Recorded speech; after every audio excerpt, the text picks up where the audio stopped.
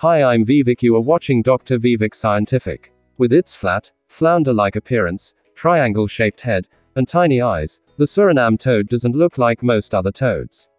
It also doesn't give birth like one.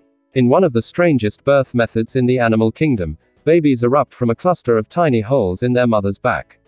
The odd characteristics don't stop there. These amphibians have long fingers that end in four star shaped sensory lobes that inspired their other common name, the star shaped toad.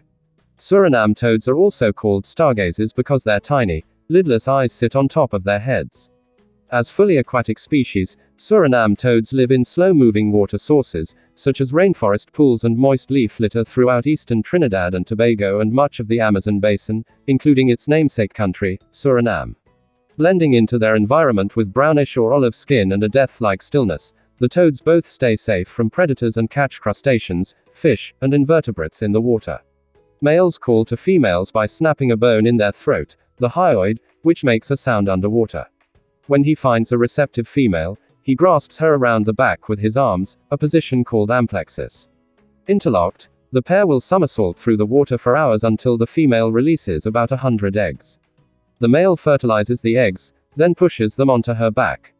A thick layer of skin will grow over the eggs until they are nestled in protected, honeycomb like pockets.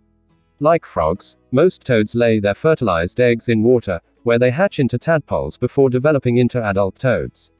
Dot dot dot. They either lay eggs which then hatch into miniature toads, or retain the eggs inside their bodies and give birth directly. Thanks for watching and don't forget to subscribe.